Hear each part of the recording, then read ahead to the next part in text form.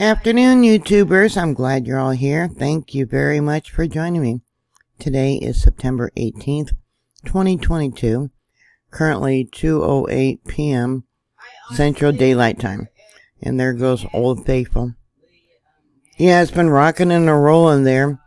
Um, they had a magnitude 3.9 earthquake that 18 people sent in reports to USGS and said they felt it.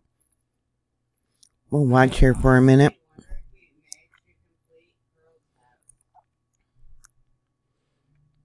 Yep.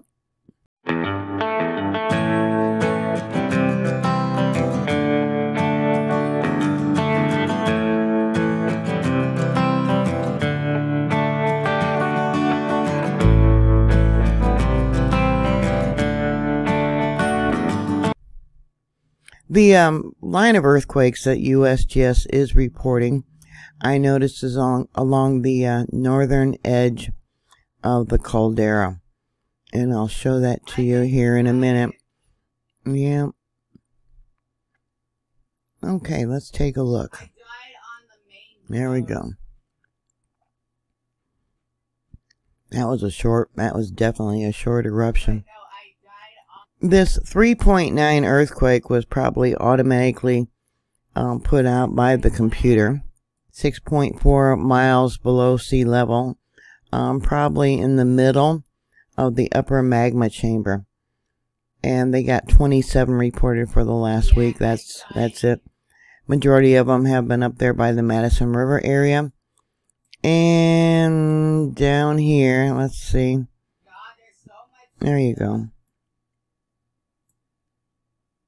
Lots of earthquakes that they're not reporting. Like I said, it's a weekend and they're gone home. You want to read a really good book.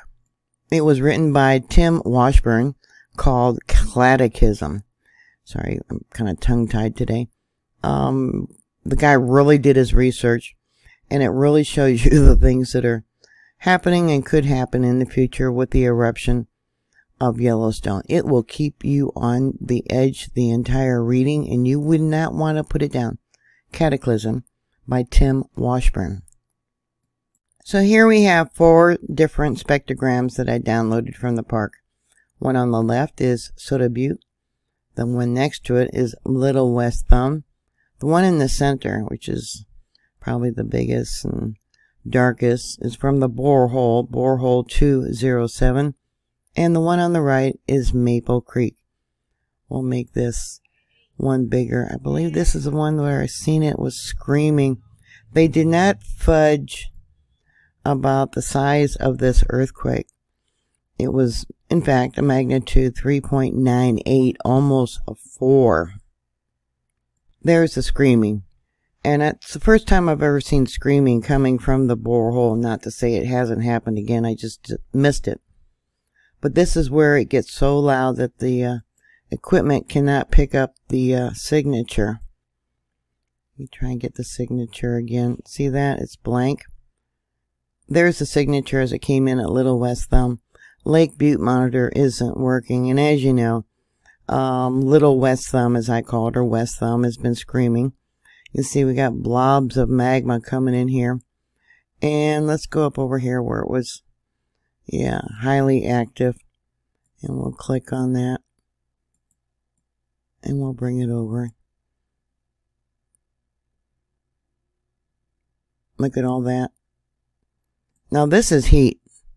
Lots of heat. And you know that they're at the bottom of the lake. They have that crack um, where dike intrusions trying to, oops, trying to go up or come up uh, for another eruption. Many areas there at Little West Thumb have had hydrothermal eruptions, and more likely as the magma comes up, I'm trying to find that, there it is.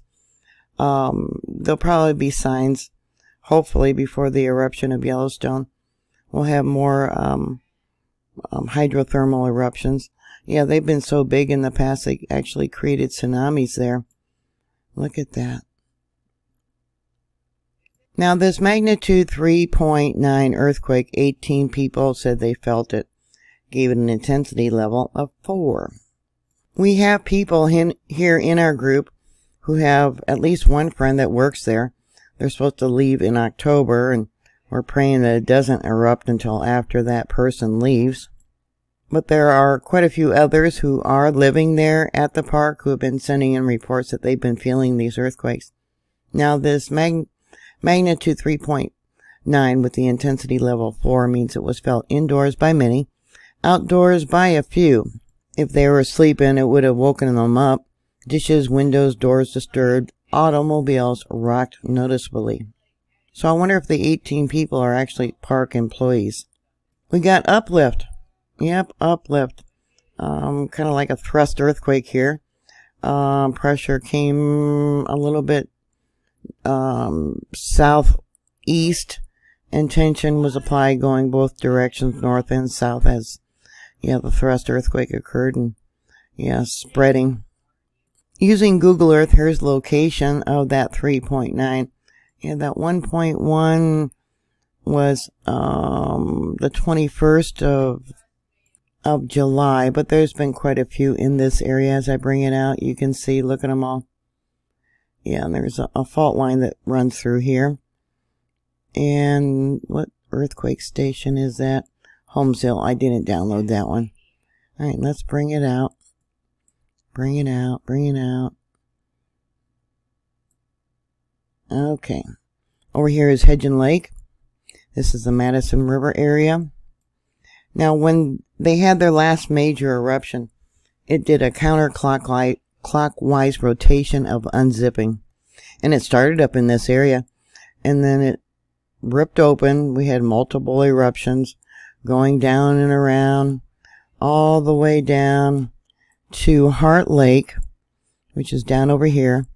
And when that happened, both resurgent domes collapsed at the same time, and then it exploded and blew out all the mountains. But there's been at least 40 smaller eruptions since that last major eruption. So let's go back to that 3.9 location. Right there. On the stream view, this is what it's currently showing. It is now 2.43 p.m. Central Daylight Time, which would be 1.43 there at the park. And you can see we got more screaming here at uh, West Thumb. Yep, and let's bring this up to my other monitors. You see the name. Madison River, Maple Creek, Soda Butte.